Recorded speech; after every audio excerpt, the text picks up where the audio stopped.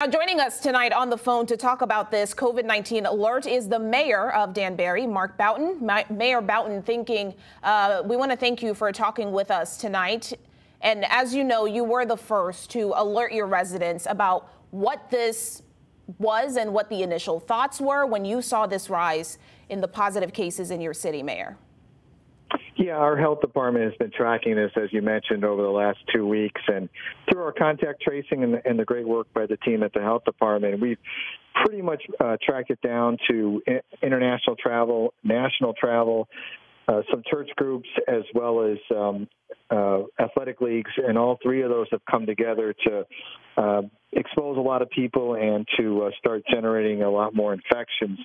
So we've got to be vigilant, and I just appreciate the support from the Department uh, of Public Health as well as the governor and his support and, and trying to get this under wraps and try to get these numbers down. This is a serious situation, and um, we've got to take it seriously. And, and it, it can be frustrating, and people can get fatigued by having to live by the guidance, but it's just so critically important to do that. And I want to um, help viewers understand here what does this alert exactly mean for your city? Are we talking restrictions? Are we talking just precaution, if any, for the people who live in or plan to do business in Danbury?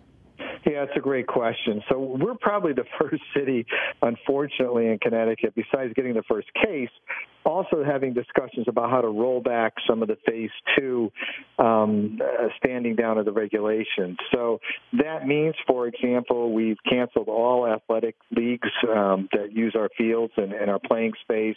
It means that we're going to be closing our boat launch uh, on Candlewood Lake on Monday. It means that um, we're encouraging churches to go online uh, and virtual services for the parishioners. It means just taking all those steps, plus really being vigilant about about getting people to wear their masks and maintain that social distance. We also saw a significant amount of spread amongst very innocuous family barbecues, maybe only 10 or 11 people with a couple aunts and uncles, but we, we've been able to trace some, uh, some infections from the virus that way as well. So we're discouraging that kind of activity. We can't stop it, but we're certainly asking people to think twice before they do it. And I also want to give viewers some sort of perspective tonight just on what we are dealing with here. You've been updating your residents on the numbers each and every day, and I think the last one you posted was 44 residents. Does that sound about right as far as uh, the numbers you guys are seeing on a day-to-day -day basis? Yeah, so we run a little bit ahead of the state in terms of our numbers because we're pulling from our local hospital, the state lab, of course, as well as uh, New York State uh, labs and private labs in Connecticut through our health department. So um, we're just a, a, few days ahead of them. That's what we saw today. Yesterday we saw 29.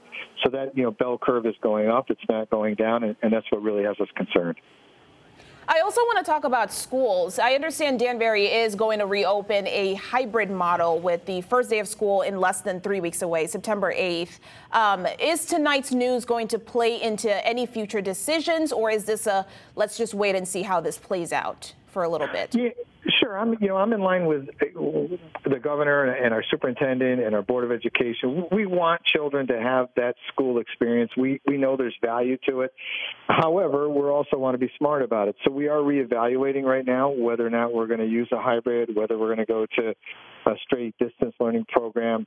That decision uh, still has more discussion to be made by our board, but certainly this information will have an impact, I think, on that decision like you say, we're about three weeks away from opening the doors. And before we let you go tonight, if you can just sum it up for us, what do you want your residents to take away from this alert? What are some of the things that you want to make sure they are practicing in the next coming days or even weeks?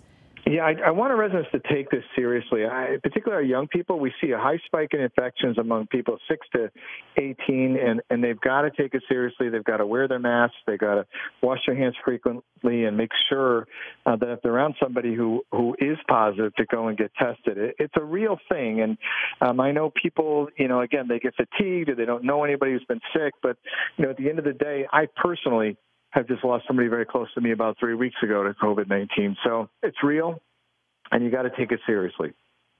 And Mayor, thank you, and sorry for your loss there. Again, Mayor Mark Boughton, we appreciate you joining us tonight here on Fox 61. Thank you.